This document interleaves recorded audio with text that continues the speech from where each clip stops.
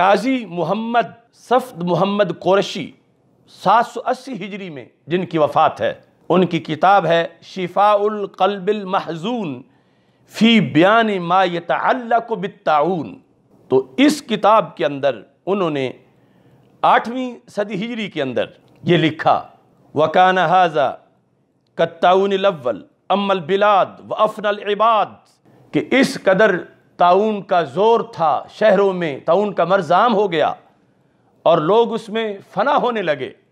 وَكَانَ النَّاسُ بِهِ عَلَى خَيْرٍ عَظِيمٍ۔ نقصان تو ہوا مگر لوگ خیر عظیم پہ اکٹھے ہو گئے۔ خیر عظیم۔ جو بخاری شریف میں رسول اکرم صلی اللہ علیہ وسلم کا فرمان ہے اس سلسلہ میں، کاش کہ ہمارا یہ لبرل طبقہ لبرل علماء یا لبرل عوام صرف اتنا ہی پڑھ لیں۔ بخاری کی حدیث ہے پانچ ہزار سات سو چونتیس۔ ڈاکٹر تہر القادری نے یہ کئی بار پیش کی ہے، مگر اس کی زبان سے، جہاں سے حدیث شروع ہو رہی ہے، ایک بار بھی وہ لفظ نہیں نکلے۔ لفظ کیا ہے اور کیوں نہیں نکلے؟ اور ہمارے کوشنے کے باوجود نہیں نکلے کہ بولو یہ لفظ بولو۔ حدیث نمبر پانچ ہزار سات سو چونتیس باب اجر صابر فی سید عائشہ صدیقہ رضی اللہ تعالیٰ عنہ کہتی ہیں کہ رسول اکرم صلی اللہ علیہ وسلم نے فرمایا، اخبرانی نبی اللہ صلی اللہ علیہ وسلم انہو کان عذابا یب اللہ علی من یشا فجعلہ اللہ رحمت للمومنین کہ رب نے اسے مومنین کے لیے رحمت بنایا ہے۔ اب بنی اسرائیل کے لیے عذاب ہے۔ تو یہ کیوں نہیں ان کی زبان سے یہ لفظ نکلے؟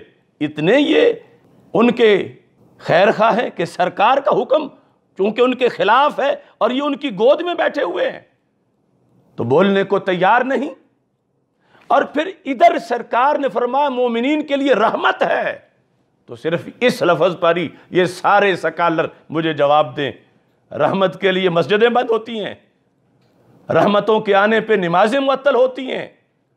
رحمت کی وجہ سے یہ کچھ ہوتا ہے کہ معیشت بند اور سب کچھ بند۔ حکومت پوچھے اسلامی نظریہ کونسل کے علماء سے کہ یہ حدیث ہے یا نہیں؟ کون ہے جو اس کا انکار کر سکتا ہے؟ تواتر سے یہ حدیث ثابت ہے کہ رسول پاک صلی اللہ علیہ وسلم نے فرمایا کہ یہ فَجَعَلَهُ اللَّهُ رَحْمَةً لِّلْمُؤْمِنِينَ۔ اللہ نے اس کو مومنین کے لیے رحمت بنایا ہے۔ رحمت کیسے ہے؟ یہ لمبا مضمون ہے۔ لیکن یہ ہے کہ دوسرے مریں گے تو جہنم جائیں گے۔ اور مومن اس تعاون سے مر بھی گیا تو ہلاک نہیں ہے، ذلیل نہیں ہے۔ یعنی ہلاکت بمانا زلالت فوت ہو جائے گا، لیکن سیدھا جنت جائے گا۔ خاص ہے ترکیب میں قوم رسول ہاشمی۔ ہم سب کچھ بند کر کے ان جہنمیوں کے پیچھے کیوں چلیں؟ جنہوں نے مرنا ہے کرونا سے تو جہنم جانا ہے۔ اور ہم نے رب سب کو بچائے، لیکن اگر کسی کی موت آئی تو سرکار فرماتے ہیں اس نے جنت جانا ہے۔ تو یہ عجیب صورتحال ہے۔ اس کے آنے کے خدشے پر فرائض ترک کر دیے گئے ہیں۔ اور غیر مسلم بغلیں بجا رہے ہیں۔ کہ ان کا اپنا کوئی بیانیہ نہیں، جو وہ کہتے ہیں وہی یہ کام کرنا شروع کر دیتے ہیں۔ خاص لوگوں کو چھوڑ کر عام کے لحاظ سے میں یہی کہوں گا بوزنے کو رقص پر کس بات کی میں داد دوں؟ ہاں یہ جائز ہے، مداری کو مبارکباد دوں۔ ڈگ ڈگی جس کے ہاتھ میں ہے، چلو وہ اپنوں کو تو جیسے نچاتے رہتے، مسلم امت تو سوچے، ہم کوئی بے آشرا ہے خدا کی قسم، یہ کرونا جیسے کروڑوں مرض۔ سرکار مدینہ صلی اللہ علیہ وسلم کی ایک تجلی کی مار نہیں۔ اگر سرکار کے یہ رحمت والے فرمان اس کی حکمت امت کے لیے نہ ہوتی، تو اللہ کا امر کن ہی کافی تھا۔ لوگ کہتے ہیں، ہر کام میں امریکن امریکن امریکن۔ میں کہتا ہوں امر کن امر کن امر کن۔ فرق تو تھوڑا ہی ہے۔ امریکن اور امر کن میں۔ امریکن کچھ نہیں امر کن میں سب کچھ ہے۔ کرنٹینہ کرنٹینہ کرنٹینہ میں کہتا ہوں مکہ، مدینہ مکہ مدینہ مکہ، مدینہ۔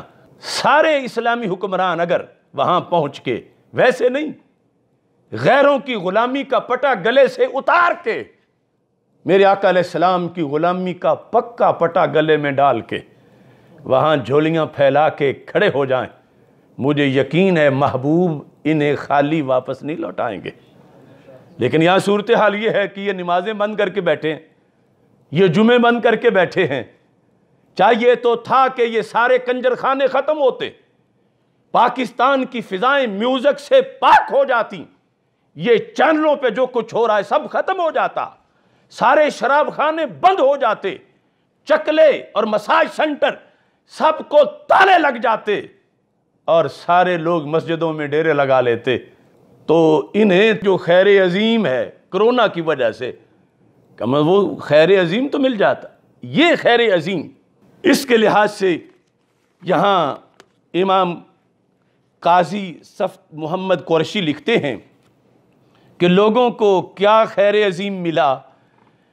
کہتے ہیں کہ یہ خیر عظیم حاصل ہوا من احیاء اللیل۔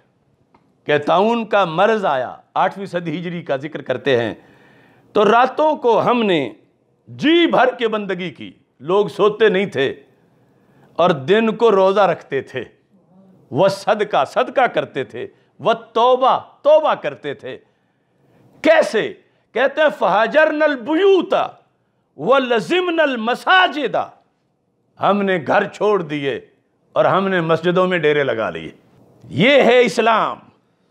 یہ ہے ہماری تاریخ، یہ ہے فوکہا یہ ہے اسلامی بیانیاں۔ یہ کرنا چاہیے ہمارے حکمرانوں کو۔ یہ جو پہلا نظام عبادات تھا، اس کو بھی سیل کر کے بیٹھے ہوئے ہیں۔ اور ادھر کیا ہے؟ کہتے ہیں وَلَزِمْنَ الْمَسَاجِدَ، کہ صرف مرد ہی نہیں، بچے بھی مسجدوں میں لے آئے۔ اور با پردہ خواتین کو مسجد میں پردے کی جگہ پہ لا کے بیٹھا دیا۔ کہ ان کا مرض آیا ہے، گھر چھوڑ دیے ہیں۔ رب کے گھر بیٹھ گئے ہیں۔ اللہ کی مسجدوں میں۔ اب جن کو یہ فالو کر رہے ہیں، ان کے لیے تو امان نہیں۔ ان کے لیے مسجد نہیں۔ ان کے نصیب میں یہ حصہ نہیں۔ دنیا میں لگانے۔